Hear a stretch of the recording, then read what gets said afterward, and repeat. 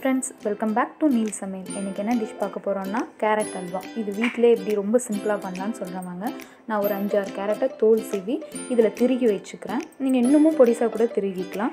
நான் அரை லிட்டர் பாலை காய்ச்சி தண்ணி லைட்டாக தண்ணி ஊற்றி நல்லா காய்ச்சி வச்சுருக்கேன் முடிஞ்ச அளவுக்கு திக்காக வச்சுக்கோங்க. நூறு எம்எல் நெய் எடுத்து வச்சுருக்கேன். நெய் நல்லா சே எவ்வளோக்கு எவ்வளோ சேர்த்துக்கிறீங்களோ நல்லா டேஸ்ட் நல்லாயிருக்கும்.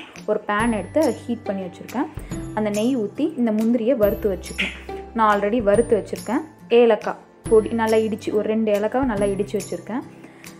நெய்யை பேனில் ஊற்றியாச்சு எவ்வளோ இந்த ஹண்ட்ரட் எம்எல் நெய் நான் ஊற்றி வச்சுருக்கேன்னு சொன்னேங்க இல்லையா?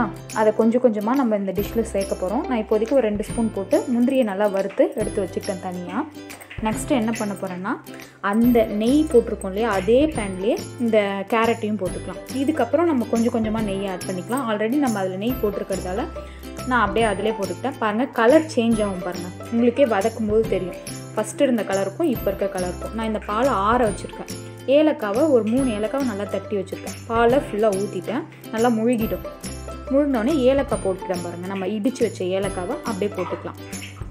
இது நல்லா கொதிச்சுட்டு இருக்கும்போது அது நல்லா அந்த அப்சர்வ் பண்ணி எடுத்துக்கும். நான் இந்த மாகாணியில் ஒன்றரை மாகாணி சக்கரை போட போகிறேன் உங்களுக்கு எவ்வளோ இனிப்பு தேவையோ அவளுக்கு தகுந்த மாதிரி நீங்கள் சேர்த்துக்கோங்க.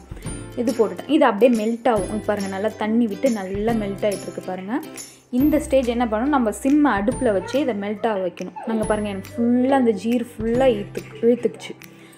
நல்ல நெய்லாம் பிரிஞ்சு மேலே வருது பாருங்கள் ஆனால் நம்ம கொஞ்சம் கொஞ்சமாக நெய் ஆட் பண்ணிக்கிட்டே இருக்கணும். நான் இப்போ திரும்பியும் நெய் ஆட் பண்ணிட்டேன் ஒரு டூ டேபிள் ஸ்பூன் யூஸ் பண்ணியிருக்கேன் இப்போதைக்கு.